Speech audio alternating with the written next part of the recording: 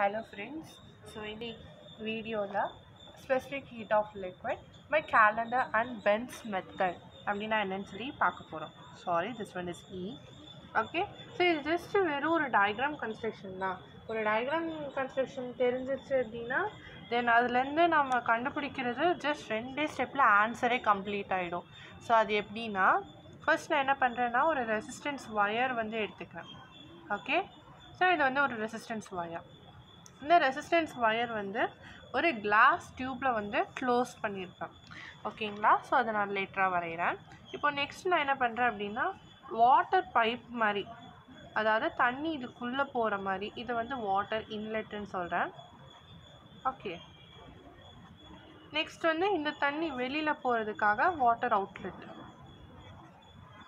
So இந்த ரெண்டு இதையும் வந்து நான் ஃபிக்ஸ் பண்ணுறேன் ஓகே ஸோ இந்த water inlet and water outlet அப்போ வாட்டர் இனிஷியலாக உள்ளே போகும்போது அதனோட டெம்பரேச்சர் என்னன்னு பார்க்கறதுக்காக ஒரு தெர்மோமீட்டர் டி ஒன் நெக்ஸ்ட் அந்த தண்ணி வெளியில் ஒன்ஸ் அந்த எலக்ட்ரிக் சர்க்கியூட்குள்ளே பாஸ் ஆனதுக்கப்புறம் அதனோட டெம்பரேச்சர் எப்படி மாறுதுன்னு மெஷர் பண்ணுறதுக்காக வாட்டர் அவுட்லெட் கிட்ட டி டூ இது ரெண்டையுமே வந்து நான் யூஸ் பண்ணுறேன் ஓகே ஸோ இப்போ இந்த செட்டப்பை வந்து ஒரு வேக்கம் ஜாக்கெட்டில் வந்து நான் என்க்ளோஸ் பண்ணுறேன் ஓகே ஸோ இதை வந்து ஒரு வேக்கம் ஜாக்கெட் எதுக்காக ஒரு வேக்கம் ஜாக்கெட்டில் வந்து நான் அதை க்ளோஸ் பண்ணுறேன் அப்படின்னா இப்போ பாருங்கள் உங்களுக்கு வந்து இந்த ஹீட் இருக்கு இல்லையா? ஸோ இந்த ப்ராசஸில் நடக்கிற ஹீட் வந்து நமக்கு வெளியில் போகும்.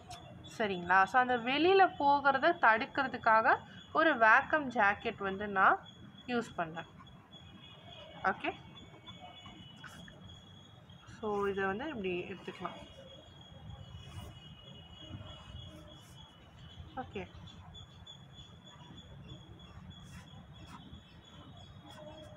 நெக்ஸ்ட்டு நான் இப்போ வந்து இதை ஒரு எலக்ட்ரிக் சர்க்யூட்டில் ஜாயின் பண்ணுறேன் அப்போ தான் வந்து எனக்கு என்ன ஆகும்? வாட்டர் பாஸ் ஆகும்போது ஹீட்டை வந்து நம்மளால் எக்ஸ்பீரியன்ஸ் பண்ண முடியும். ஆக்சுவலாக நம்ம என்னோட நம்மளோட எய்ம் என்னென்னா ஸ்பெசிஃபிக் ஹீட் என்னன்னு கண்டுபிடிக்கணும். எதுக்கு? லிக்விடுக்கு அதுக்காக நான் வாட்டரை வந்து இன்லெட் கொண்டு போகிறேன் பட் அதுக்கு ஸ்பெசிஃபிக் ஹீட் வேணும்னா நான் அது ஒரு எலக்ட்ரிக் சர்க்கியூட்டில் வந்து ஃபிக்ஸ் பண்ணணும். கரெக்டுங்களா ஸோ நம்ம என்ன பண்ணலாம்?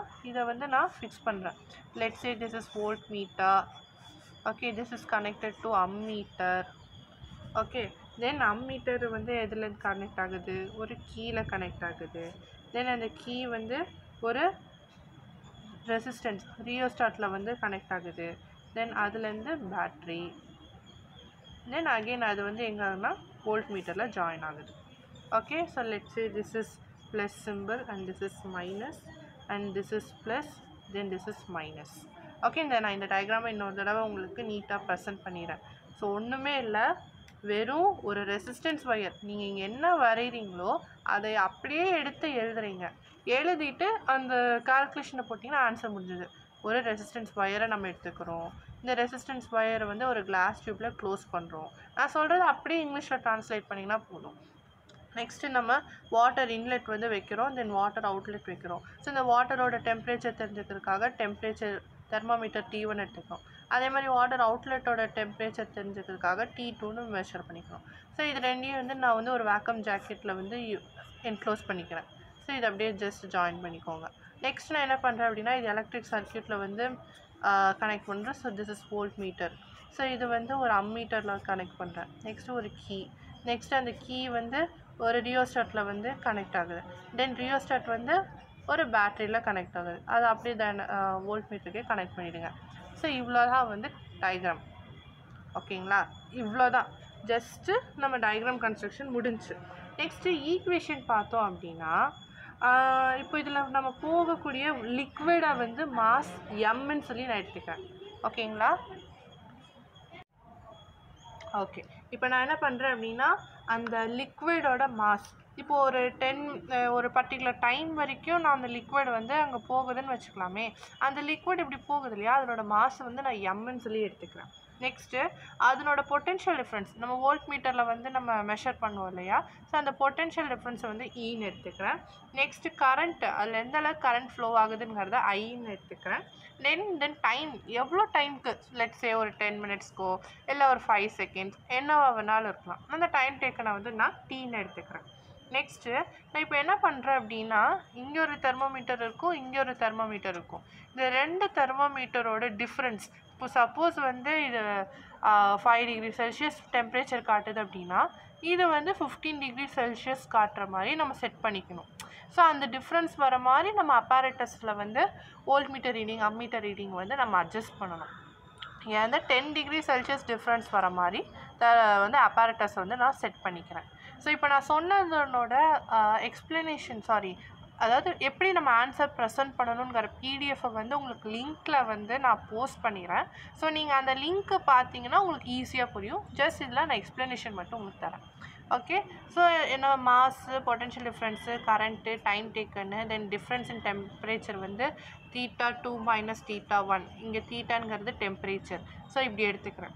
இப்படி இருந்துச்சுன்னா இது என்ன ஈக்குவேஷனை சாட்டிஸ்ஃபை பண்ணும் அப்படின்னா mass into specific heat into difference in temperature which will be equal to potential difference into current into time taken divided by 4.2 அப்படிங்கிற கான்ஸ்டன்ட்க்கு இது ஈக்குவலாக இருக்கும் ஆனால் நம்ம என்ன தான் அப்பாரட்டஸை கரெக்டாக பண்ணாலும் there may be some heat loss so அந்த ஹீட் லாஸையும் நம்ம ஆட் பண்ணோன்னா நமக்கு கரெக்டாக எந்த அளவுக்கு வந்து அங்கே கரண்ட் ஃப்ளோ இருக்குது நமக்கு டெம்பரேச்சர் டிஃப்ரென்ஸ் இருக்குது அப்படிங்கிறது ஈஸியாக கால்குலேட் பண்ணலாம்.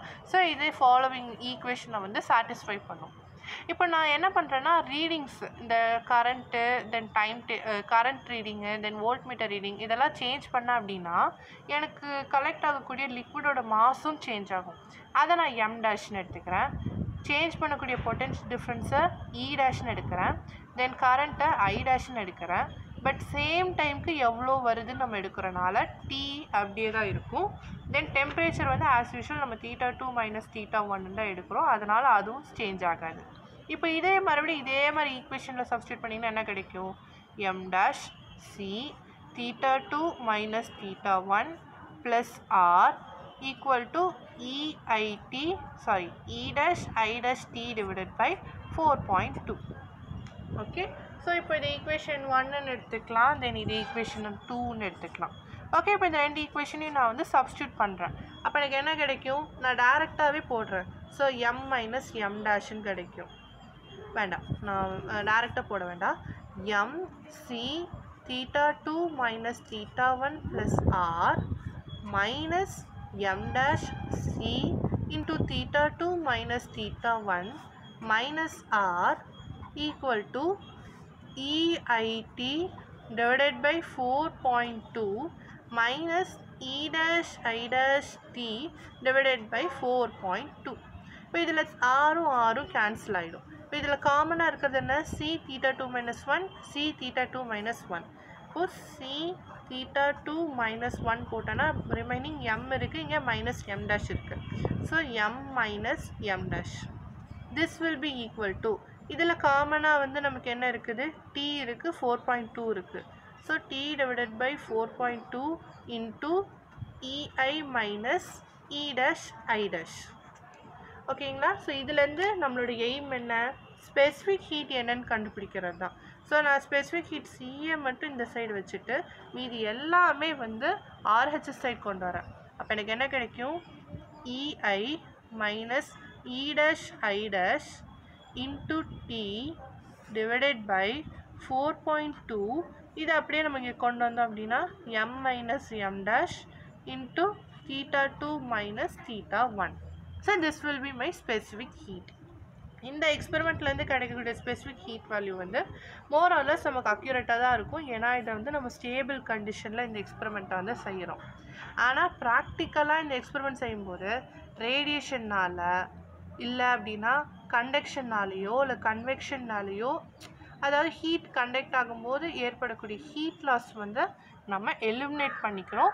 ஸோ இந்த ஈக்குவேஷனில் சப்ஸ்டியூட் பண்ணோன்னா நமக்கு ஒரு லிக்விடோட ஸ்பெசிஃபிக் ஹீட் என்னன்னு சொல்லி கண்டுபிடிச்சிடலாம்.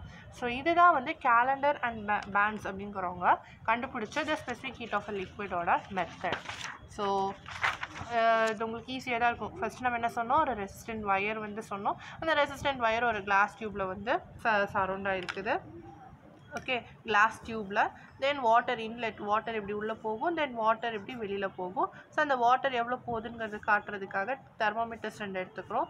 தென் இந்த செட்டப்பை வந்து ஒரு வேக்கம் ஜாக்கெட்டில் க்ளோஸ் பண்ணுறேன் ஸோ தட் நமக்கு ஹீட் லாஸ் வந்து ப்ரிவெண்ட் பண்ணுறதுக்காக பட் ப்ராக்டிக்கலாக கொஞ்சம் ஹீட் லாஸ் இருக்க தான் செய்யும்.